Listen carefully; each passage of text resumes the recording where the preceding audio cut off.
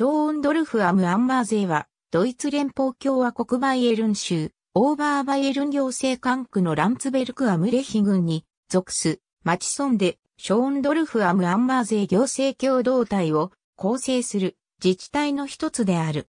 ショーンドルフの領主湖や保養地ショーンドルフは、ミュンヘン地方、アンマー湖の西岸に位置する。この町は、公式には2つの地区からなる。このうち小集落や孤立農場などを除く集落をは、首有のショーンドルフアムアンマーゼーのみである。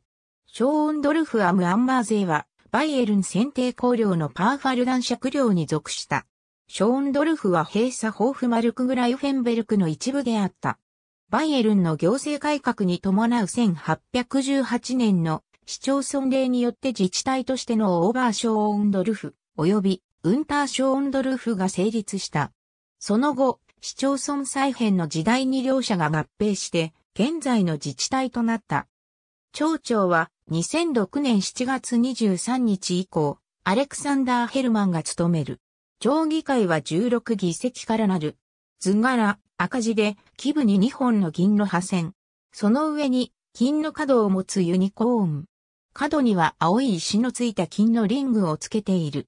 ショーンドルフの聖アーコブス教会町の北の山にある聖アンナ旧教区教会は遠くからも見ることができる。この教会は D 戦修道院によって1499年に建造された。2階席には18世紀のオルガンが備えられている。教会の周りは墓地になっており、大変に古い墓石もある。その周りを壁と民家が囲んでいる。